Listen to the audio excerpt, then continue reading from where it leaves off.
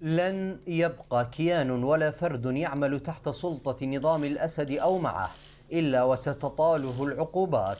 هكذا قال مشرعو قانون قيصر. وكذلك استبشر الذين طالهم إجرام حلف إيران وميليشياتها في سوريا.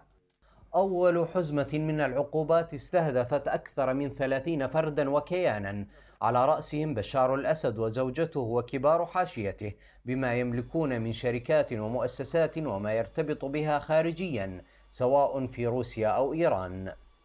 الرقص من شدة الألم الذي عبر عنه مؤيدو نظام الأسد بدبكات الصمود والتحدي. لا يعد شيئا أمام رقص الخوف في صفوف المسؤولين الإيرانيين الذين أبدوا من الامتعاض والرفض لقانون قيصر ما لم يبده نظام الأسد ذاته. ولم لا يقول مراقبون للمشهد فالمستهدف على الحقيقة هي المصالح الإيرانية والروسية في سوريا. إذ أن هذين الاحتلالين قد ظنا أن آلتهما الدموية قد أنهت المسألة وبدأ يطرحان مشاريع تقاسم النفوذ في البلاد المهجر أهلها المغيبون بين المقابر والمعتقلات وخيم اللجوء.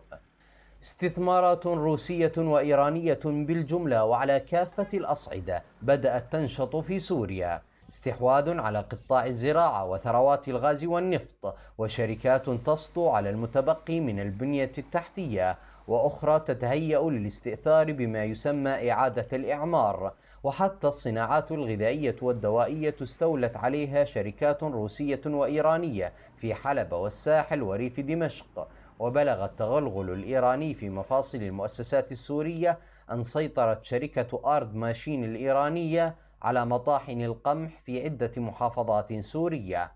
كل هذه الأنشطة ستصبح في حكم المجمدة مع اتساع دائرة مفاعيل قانون قيصر. الأمر الذي يجعل هذا القانون سلاحا مدمرا لمشاريع إقليمية ضخمة في حال صدقت إدارة ترامب في إنفاذ جميع بنوده.